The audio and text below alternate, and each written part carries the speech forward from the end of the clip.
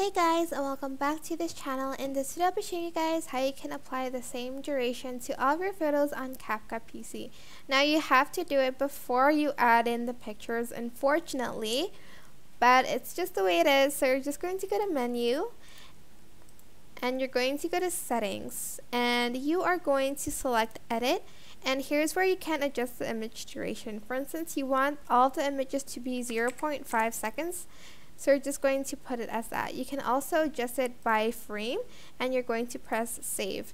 Now if I go to pictures and added pictures, as you can see it will be added like 0.5 seconds because I set it to that um, like duration. So all the pictures that I put in will be the same duration.